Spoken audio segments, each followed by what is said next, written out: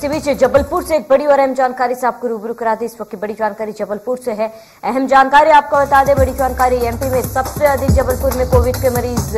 बड़ी जानकारी आपको बता दें, महीने बाद कोविड के एक साथ सात नए केस सामने आए हैं। और 114 एक्टिव केस में सत्तावन प्रतिशत सिर्फ़ तीन बड़े शहरों में पाए गए हैं। भोपाल में 18 प्रतिशत, इंदौर में 16 प्रतिशत एक्टिव केस फ़िलहाल है। और एमपी में सबसे अधिक जबलपुर में कोविड के मरीज़ पाए गए हैं। बड़ी जानकारी, अहम जानकारी से आपको रूबरू करा दें यहाँ पर फिर एक बार कोरोना ने रफ्तार पकड़ ली है। मध्य प्रदेश में सबसे अधिक जबलपुर में कोविड के केसेस पाए गए। महीने बाद कोविड के एक साथ सात केस सामने आए हैं और 114 एक्टिव केस में सत्तावन प्रतिशत सिर्फ़ तीन बड़े शहरों में पाए गए। बड़ी जानकारी इस वक्त आपको बता रहे हैं। जानकारी से आपको रूबरू करा दें। जहाँ पर मध्य प्रदेश में सबसे अधिक जबलपुर में कोविड के मरीज़ पाए गए हैं। और अहम जानकारी, बड़ी जानकारी से आपको रूबरू कराते हुए जहाँ पर मध्य प्रदेश में। सबसे अधिक जबलपुर में कोविड के मरीज़ पाए गए। वहीं ज़्यादा जानकारी के लिए संवाददाता राजेश विश्वकर्मा हमारे साथ जुड़ चुके हैं। राजेश, फिर एक बार जो कोरोना केसेस है, उसने रफ्तार पकड़ ली है। सबसे ज़्यादा जबलपुर में पाए गए क्या कुछ पूरी जानकारी है? क्या फिर से लोगों ने लापरवाही बरतनी शुरू कर दी है?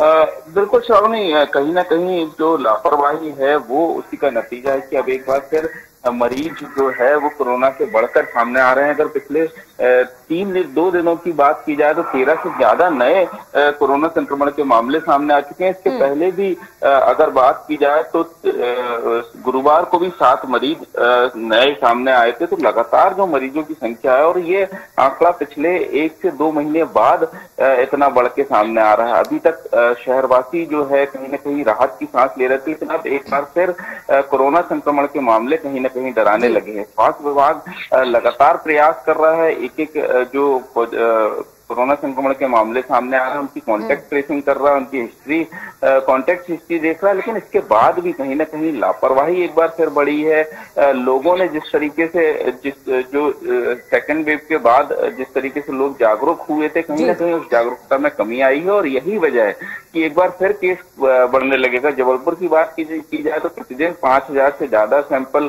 जाँच सैंपलों की जाँच की जा रही है हम्म। और पिछले एक महीने में सबसे सबसे कम आंकड़े जो है वो सामने आ रहे थे। लेकिन पिछले अगर तीन चार दिनों की बात की जाए तो सात मरीज़ सबसे ज़्यादा सामने आए और उसके बाद पाँच और कल चार मरीज़ सामने आए। तो कहीं ना कहीं लगातार जो मरीजों की संख्या है वो बढ़ती जा रही है और ये स्वास्थ्य विभाग के लिए भी चिंता का विषय है। जी, बिल्कुल राजेश, तमाम जानकारी के लिए आपका बहुत बहुत शुक्रिया।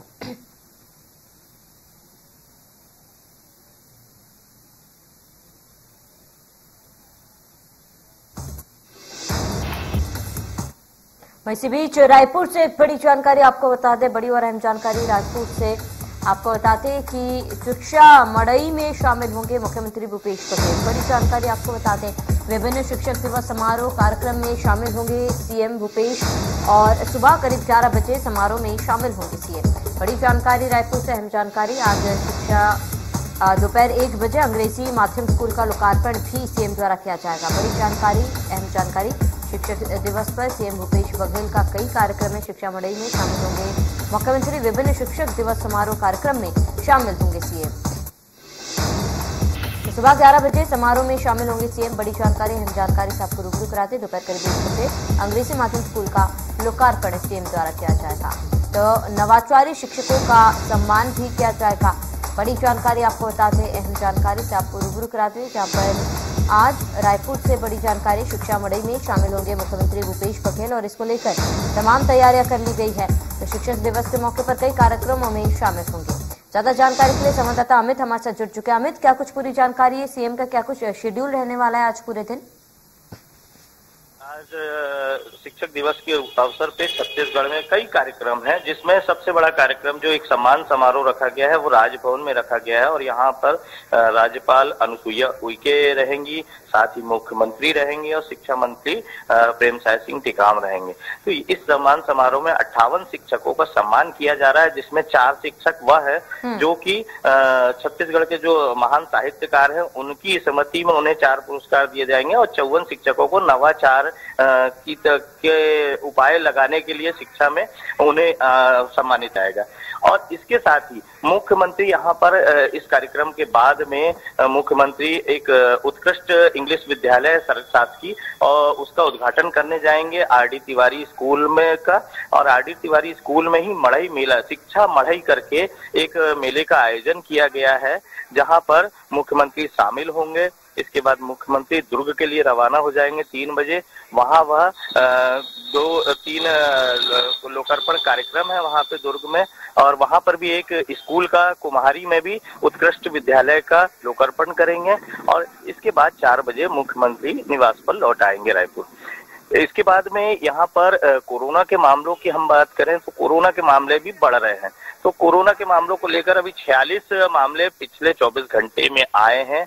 और यहाँ पर मौत एक भी नहीं हुई है हालाँकि, लेकिन तीन सौ इकतीस जो केसेस हैं, वो इस समय पूरे सक्रिय हैं पूरे प्रदेश में। जी, स्वामी।